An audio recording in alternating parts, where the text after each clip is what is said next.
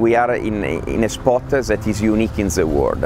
But for sure, to organize event like this one, you need to partner with a yachting club capable to organize uh, for a so large number and then to have a, long-lasting partner like Rolex. This would not be possible without uh, the help of all this and we are so happy to have a great participation. We have really the family of all our boats and uh, even more important, the family of all our owners with their uh, crews made of uh, professional guys on, on the one design to family and friends uh, on the cruising.